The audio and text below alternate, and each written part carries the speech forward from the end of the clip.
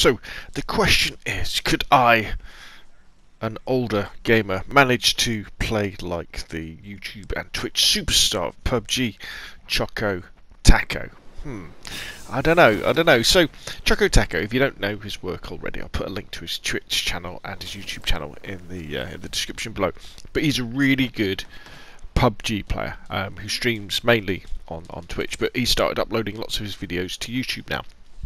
Um, and he has a very exciting style, but when you watch his games, um, there's a specific way that he tends to do things, uh, and I was thinking maybe it's something I could attempt to emulate. So, Choco Taco, to start off with, I mean, the first thing he's on, he's on PC. Well, you know, I'm not on PC, so I've got to put up with my PlayStation and my Xbox, and he does play in first person. And it's a bit difficult to do that on console. Or watch this. This is I'm definitely not Choco Taco in this clip. Watch as I managed to. I think I missed this guy with a complete clip. Um, yeah. So um, yeah, so first person, uh, I tend to play in third, so not good. Where me and Checo, Choco Taco are similar is the fact that we both play a lot of solos, and that's my preferred game mode in PUBG.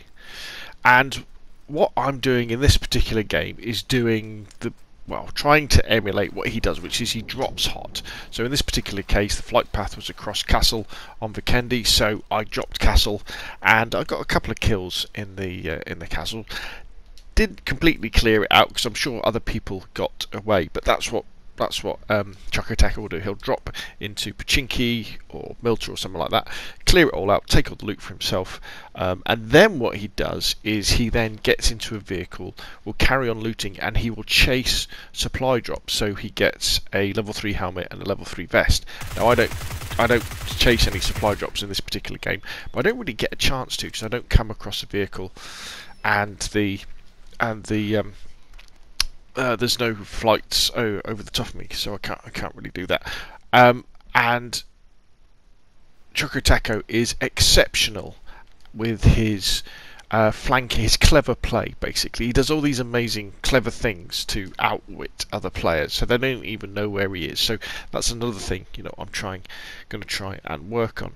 Um, he also uses a bolt action um, rifle uh, whenever he can, so an M24, Kar 98, or the AWM.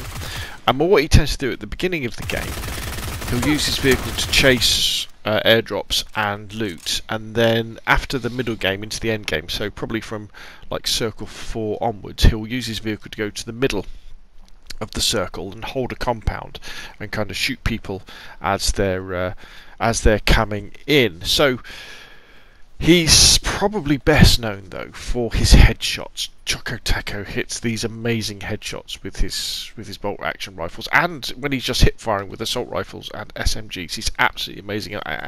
Now I know it's much much harder on console to hit headshots, um, but it's something you know I definitely need to work on. And he kills a lot of people in his games as well. Funnily enough, if you look at his stats, like lots of the popular Twitch. Um, and YouTube streamers, his win rate, last time I looked, was about 10% on solos. Um, and that's similar to Shroud and the Doc. They're all sort of, sort sort of similar to that because they are playing aggressively. And if you do play aggressively, there's going to be quite a few hot drops where you get killed. So anyway, so this kind of all comes down to the point that in this particular game here, about the only thing that me and Choco Taco have in common is the fact that I kind of drop hot into Castle. Um, I don't get a um, bolt action rifle.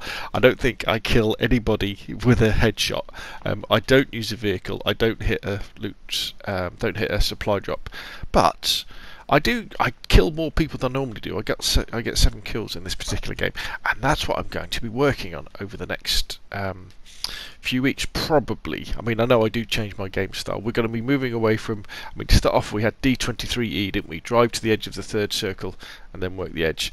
We've also got PCTI, which is playing the centre and then improvising, which is kind of what Choco Taco does, kind of, but this is more specifically.